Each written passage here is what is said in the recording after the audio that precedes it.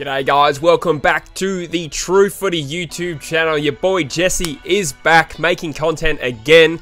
Obviously football is right around the corner. We've got about, you know, like a week or so before all kicks off, which is all just absolutely delightful. And now it's time for me to resume making footy content full time again for you guys. It's been good to have a little break. I've been doing a lot of preparation for the season ahead, so hopefully we have some reasonable content coming out in the next few weeks and beyond. Before we really crack into it, guys, I do just want to say thank you so much to all the people who've supported this channel through the off season. Um, I, uh, I was working pretty hard through the off season, and obviously the views started to dip, so I decided to maybe take a little break and um, sort of pour my resources and energy into making content for the actual season. But I do want to say in my last video, I got a lot of nice comments um, that I really, really appreciate. And there's a bunch of you as well who just about comment on every video. I don't take it for granted. I really, really appreciate all the support you've given me. And uh, on a related note, I do want to give a little shout out to a new YouTuber. His name is Brodie Allen. You might recognize him from the comments on a lot of these videos. He started his own channel um, and he's making some really cool compilation content at the moment. It's just the beginning for him. I'm going to put the link in the description of this video. You should go check out his channel because it is worth it. But anyway, guys, in today's video, I'm going to be doing a video that I have been wanting to do for the best part of eight months since the grand final. We've had one round of football, and uh, that, of course, is my weekly tips video. So finally, finally, after about two or three months, I get to do round two's predictions. If you haven't joined already, make sure you look in the link in the description of this video for our footy tipping competition. It's not too late to join, I don't think. And I think there's a password which is also in the description to join up. So go ahead, join us. Uh, it should be a lot of fun. Anyway, guys, let's crack into the video with Thursday Night Footy. We've got Collingwood and Richmond taking uh, place at the G, which will be a, uh, needless to say, really exciting game. In fact, as far as I'm concerned, this is a potential grand final matchup. Probably my prediction for the current grand final matchup. You got Collingwood obviously hosting it, sort of. Um, they looked very scary in round one. I think Grundy had a day out against Tim English, which he does pretty much every time they play. He had 37 hitouts, one goal, three, 19 possessions. To be honest, they came out and looked angry. They've had two heartbreaking ends to the previous two seasons, and they're playing like they want to make it this year their year. Uh, 22 scoring shots to 9 against a doggy side that was rated to, you know, be a good chance. In fact, I think it tipped the dogs in an upset, um, but they absolutely put them to the sword. I had to think about what I was going to end that sentence with. On the Richmond side of things, they played the, the, Blues, obviously, in the season opener. It was a weird game. They kicked seven goals to two in the opening term. And uh, at that point, you're just like, holy shit, Richmond haven't slowed down at all. But then they sort of, it's hard to say whether they sort of either put the cue in the rack or they generally allowed Carlton to get on top of them. But, uh, you know, the Blues sort of fought back. Jack Martin had five goals. It was a typical Richmond's performance where they didn't really have any massive individual performance. I think Jack Riewoldt kicked three, uh, but it was pretty well spread throughout the, the workload. There's kind of a good rivalry building between Collingwood and Richmond. They've been trading wins in recent years. I don't really know who's going to win this game, but I'm going to probably tip the Pies to take this one out. I feel like at the well in round one they were probably the most impressive side, and I'm I know that was months ago, but I'm going to back them in to take that form into round two. I think Collingwood's going to win this by 18 points. Next up, we have the Friday night game at uh, GMHBA Stadium. Geelong taking on Hawthorn.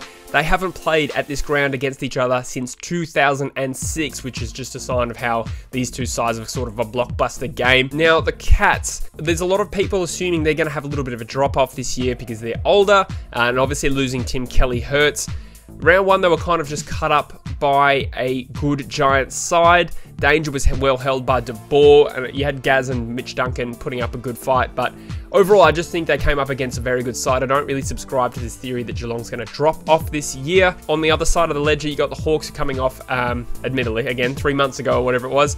Uh, they cut up the Lions at the G. The Lions are a good side, but there was they're not good at the MCG, and that you know you have to take that with a pinch of salt, even though there was no crowd. It's still a very unknown variable, the extent to which teams will have a home ground advantage, but I won't delve into that too much.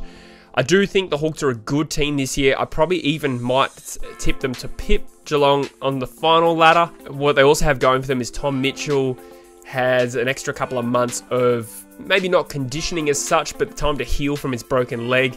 um, which I think could probably help. I think he had 25 posies in round one.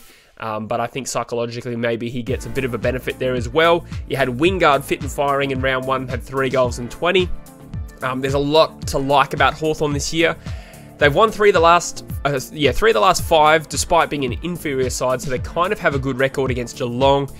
GMHBA, it's a really unknowable sort of variable in this with no crowd.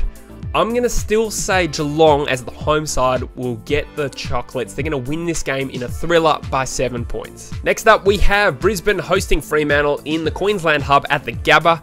Now, Fremantle actually haven't played at the Gabba for three years, and their last trip there saw an 11 goal loss.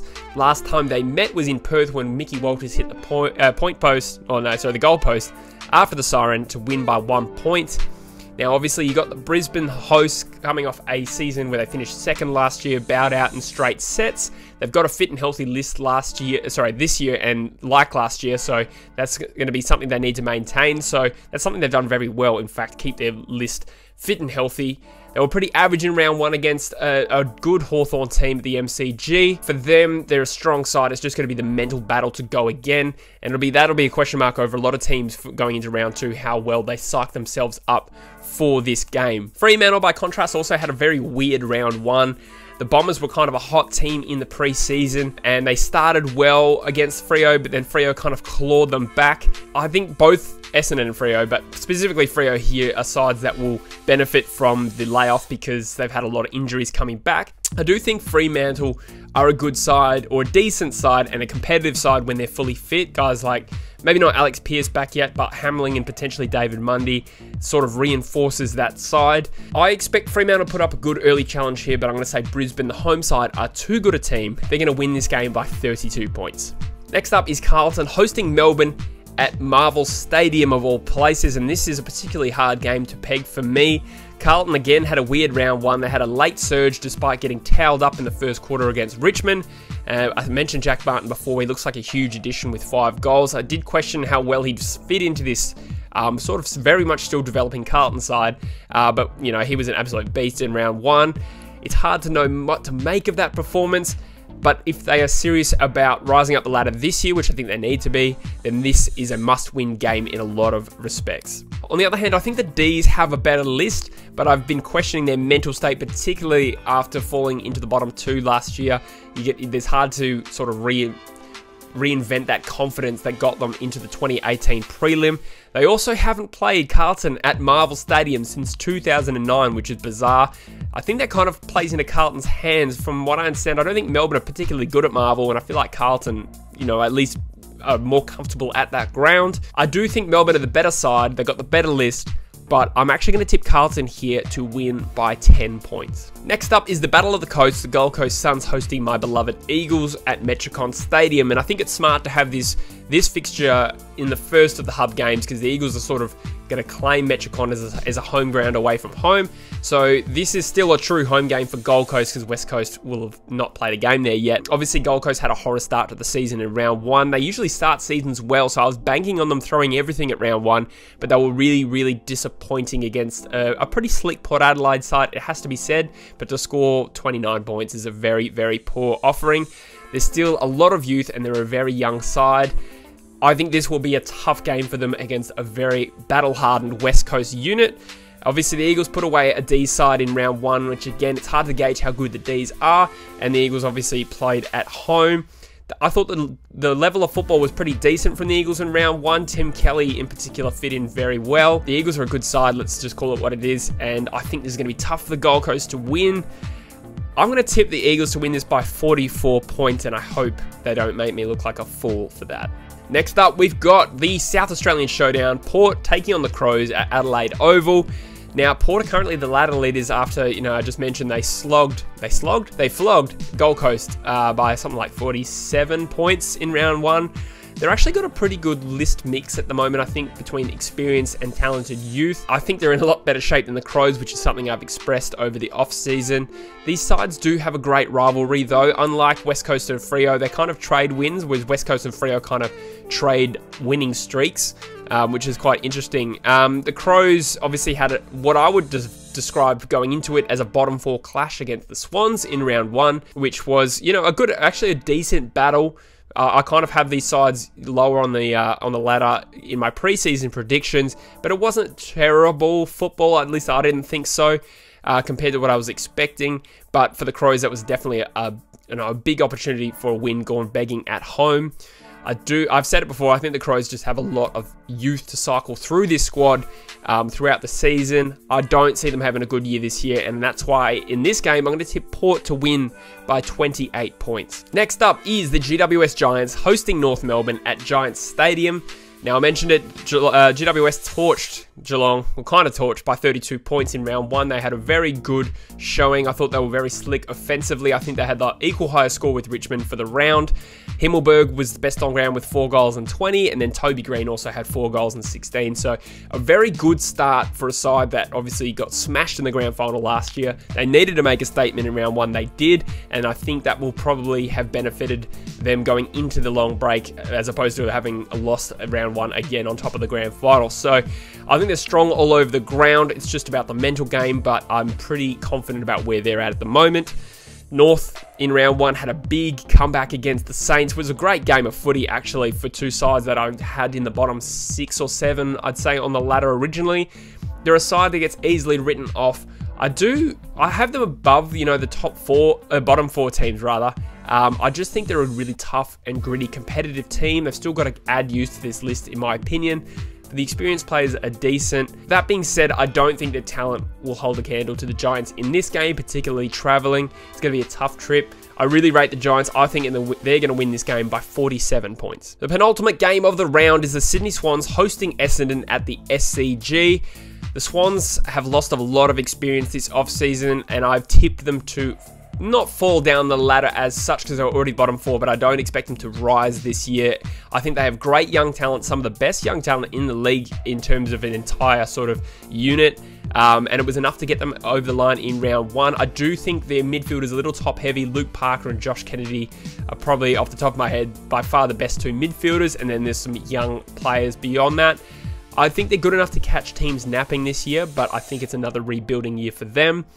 Now, the Dons are another question mark, as they always seem to be. They had a great preseason. They had a they had excuses to to not play well in the preseason, considering how many operations they had, sort of similar to Melbourne 12 months previous.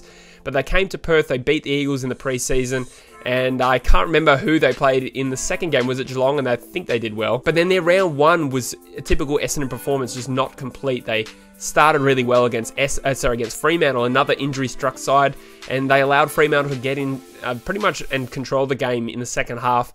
And uh, to only win by six points is, you know, not a great way to tick the box, but I guess a win's a win. But I think they're another side to benefit from a long layoff because they're going to get some players back, hopefully. I haven't seen the injury list, but I presume that they're going to be in better shape physically. I do know that Essendon haven't won at the SCG since 2009. I will tip them to break that drought. It's going to be a thriller. I tip the Dons to win this by five points. The final game of round two is St Kilda hosting the Bulldogs at Marvel Stadium. Now, we saw the Saints were bitterly disappointed to lose round one. They're a side that, again, needed to prove that they're ready to come up the ladder under a new coach, Brett Ratten. Um, they've recruited five best 22 players, albeit they lost a few as well. And I think this result for them would be very, very painful, having led by 31 points early in the third term. And I think North were down to one player on the bench. To let that slip is a massive failure, but I guess that can be forgiven for sort of a young developing side that still needs to sort of come together and sort of you know consolidate their team chemistry as well with a lot of new faces. But overall a very bit like really disappointing loss i would say. This is the year to prove themselves and i think they've had a very bad start. In this game, they're coming up against another side with a lot of uh, high expectations. The Bulldogs, obviously, there's a little bit of pressure sort of building on Beveridge to make the finals last year was a relative success considering they sort of dropped off after you know missing the or winning the premiership. But obviously a bad finals showing last year, and then a terrible round one against Collingwood where they got torched. Certainly Collingwood are playing very were, were playing very good football, and the Bulldogs just didn't have an answer to that. Only nine scoring shots for the game. Admittedly, Naughton was underdone in round one, so hopefully that is some upside for them now. But their forward line, as I talked about at the time, looked a little bit impotent, so and a little bit one-dimensional. Even though their midfield's great, there might be some concerns concerns with the Bulldogs there. But to end this rant, I think the midfield is strong enough and perhaps the break will give them time to sort of mull over that terrible round one. They'll come back refreshed. I do think they're a better side than the Saints, and that's why I have to tip them. The Bulldogs are going to win this game by 23 points. Anyway, guys, that is all my tips for round two. As I said at the start of the video, make sure you check out the link in the description to join our footy tipping competition. It feels so good to be back doing round predictions, and uh, I will see you, you know, somewhere on YouTube. I've got a heap of videos coming out. Otherwise, I'll see you in the next tipping prediction video for round three. Thanks for watching, guys, and take care of yourselves. Cheers.